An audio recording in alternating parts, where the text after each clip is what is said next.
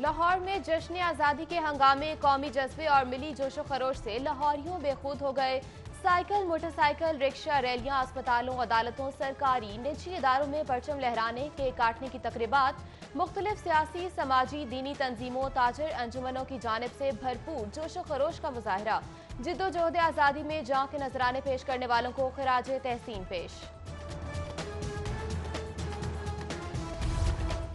पाक सर ज़मीन हमारा इफ्तार रंगो खुशबू के नज़ारे देखो, ऐसी ज़मीन, आसमान और सितारे देखो। किंग एडवर्ड मेडिकल यूनिवर्सिटी में परचम कुशाई की तकरीब, वज़ीर सेहत पंजाब यासमिन राशिद, प्रोफेसर खालिद मसूद गोंदल की शिरकत। कौमी तराना, मुल्की सलामती और इसकाम के लिए दुआएँ शुरका में मिठाई भी तकसीम की गई।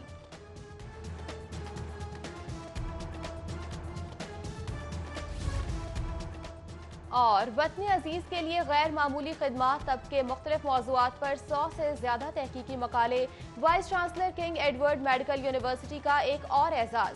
हुकूमत पाकिस्तान की जानब से प्रोफेसर खालिद मसूद गोंदल को तमगा हुसन कारकर्दगी से नवाजा जाएगा।